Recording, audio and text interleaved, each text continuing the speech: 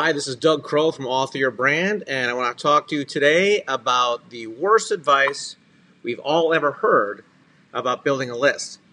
Now, we've all know that building a list is important for uh, you know engagement, for uh, creating a business, for selling more products and services to your customers and database.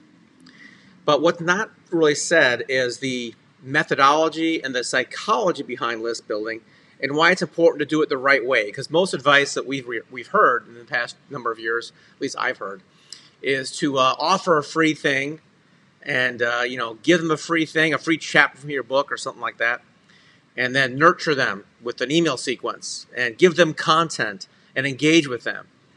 And I'm here to tell you, all three of those pieces of advice are flat out wrong. Flat out wrong. There's been studies done, and I think this is backed up by um, a company called Leadpages, who's, gov- who's delivered over 1 billion leads. That anytime somebody gives um, a piece of content out as a lead magnet, as an opt in, a way to get someone to exchange emails, uh, they've noticed a huge drop off in number of opt ins. What works, what really works, is not anything that's going to cause them to take more time with their day or to um, uh, soak up more of their resources, right? A free chapter requires the person who opts in to actually read an entire chapter of a book. Well, they don't want that. They want to they want to do something that saves them time and money, not costs them time and money. So, um, Leadpages has measured the data on over one billion leads, and they've come up with this magic formula that says anytime you can save the uh, person time and money, it's going to benefit you. You'll have a higher opt-in rate on your list. So as you create this lead magnet, this thing to give away to uh, create and build your list, make sure it's something short, sweet, and saves the recipient time or money. All right? You don't offer a free chapter of your book. Ugh, don't do it. The second myth, the second thing we've been taught and told that is totally untrue, is to um, give away content. The content is king. The more content you deliver, in your email sequences, the more people will respect you and like you and want to buy more stuff from you. And again, this is hogwash, right? Because content is ubiquitous. You content you can find on Google for free. Anything somebody wants to know, they can just go to Google and get it for free. I, I did a thing on list building right now, and I went to Neil Patel's blog and found some great stuff there. But what does that tell you? That tells you that the content you deliver is already out there. What they don't need is the content is regurgitated from somebody else. I'd rather go to Neil Patel than me.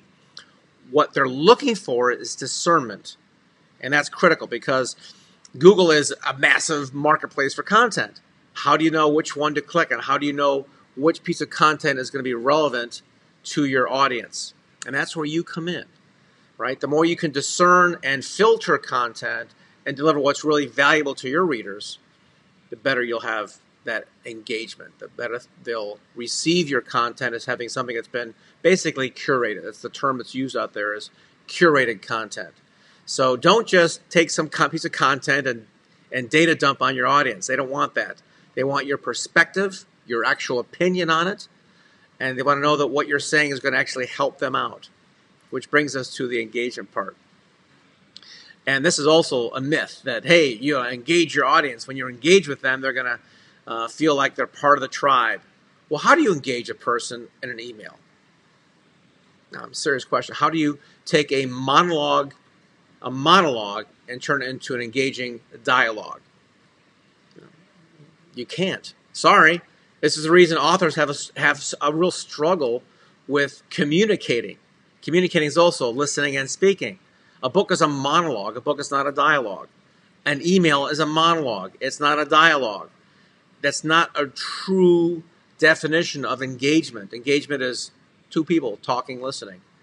So, how do you solve that in an email sequence? Well, what I'm encouraging you to do, and what I'm doing right here in my own uh, program, is offering real conversations with real authors. And that's not going to be done in email, it's going to be done on this live stream or in future live streams I'll bring somebody on Skype and have a conversation and ask questions and get answers and ask more questions and get people to their feedback coming online and asking more questions and having a conversation where there's dialogue back and forth. Uh, so I might promote that through an email, but I can't have a conversation through an email. It's not the right platform. Okay? So if you'd like to become a guest on this program, then it's very simple.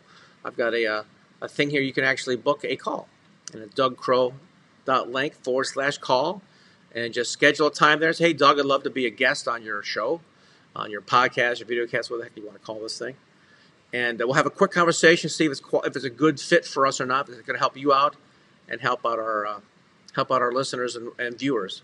And if that's true, then great. We'd love to have a conversation and actually have some true engagement for ourselves, for you, and for the people watching. So, um, this is Doug Crowe with Author Your Brand, and I look forward to speaking with you guys at least uh, once, twice a week here on Facebook, LinkedIn, Twitter. I actually call Periscope for the uh, video program. And uh, if you want more information about what we do, it's also available by scheduling a call and finding out how we can create a best selling book for you without writing a word. Have a great day, and uh, we'll see you later.